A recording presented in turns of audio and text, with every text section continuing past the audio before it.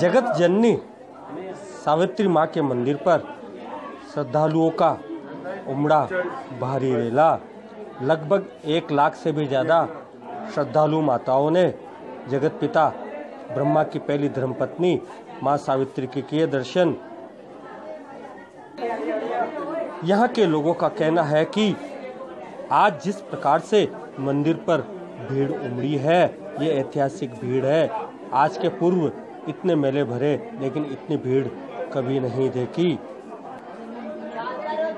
जगत जननी माँ सावित्री के मंदिर पर व्यवस्था करने के लिए पुजारी की ओर से उनकी मित्र मंडली और पारासर समाज के लोग एवं सिविल डिफेंस की पूरी टीम लगी हुई है। साथ ही स्थानीय पुलिस प्रशासन भी लगा हुआ है।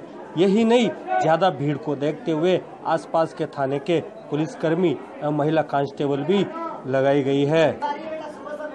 पुष्कर थाना अधिकारी नरेश कुमार शर्मा ने बताया कि भीड़ को देखते हुए आसपास के थानों की पुलिस को यहाँ बुला लिया गया है और मेले में इंतज़ाम के लिए लगा दिया गया है। अतीत के पन्ने को देखते हैं तो माँ जगत जननी सावित्री ब्रह्मा जी की पहली धर्मपत्नी है जो सतयुग में यज्ञ के दौरान इनसे रूटकर रत्नगिरी पहाड़ी पर बैठ गई है। ऐसा ही उल्लेख पद्म पुराण में आता है। तब से ही माँ सावित्री रत्नगिरी पहाड़ी पर बैठी हुई है। भादवे की अष्टमी को माँ के दरबार में बहुत बड़ा मेला लगता है और एक दिन पहले जागरण होता है। माता रानी की पूजा अर्चना करने के लिए दूर दूर से राजपूत समाज की महिलाएँ भी भाग लेती है। महिलाएँ माता रानी की पूजा करके अपने सुहाग की सलामती की मनोकामनाएँ मांगती है। पंडित कैलाश मिश्र ने बताया कि माँ के इस दिन नित नए श्रृंगार किए जाते हैं और विशेष आरती पूजा अर्चना की जाती है, जिसमें हज़ारों की तादाद में माताएँ शामिल होती है। ब्रह्म पुष्कर न्यूज़ पर देखते रहिए एक लाइव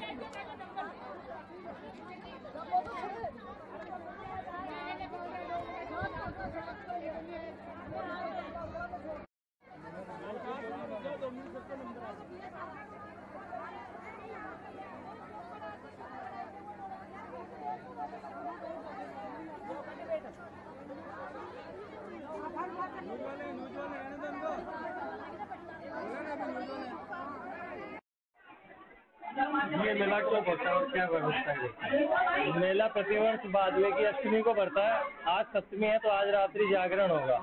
ये माता सुहाग रात्रि है, इसीलिए महिलाएँ आकर यहाँ अपने सुहाग की कामना करती है। माता जी की पूजा, अर्चना, प्रार्थना करके।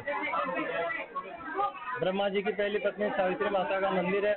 वर्ष भर यात्री आते हैं, लेकिन आज के दिन विशेष यात्री आते हैं। कमल जी, इनका उल्लेख किन किन पुराणों में पद्म पुराण में इनका उल्लेख आता है जब ब्रह्मा जी ने यज्ञ किया था तब माता ऋषि होकर यहाँ ऊपर आके बैठ गई थी। तभी से ये मंदिर यहाँ है और ब्रह्मा जी का मंदिर नीचे है।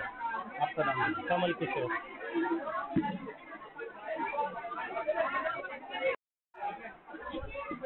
किस प्रकार से आपने व्यवस्थाएँ बनाई है?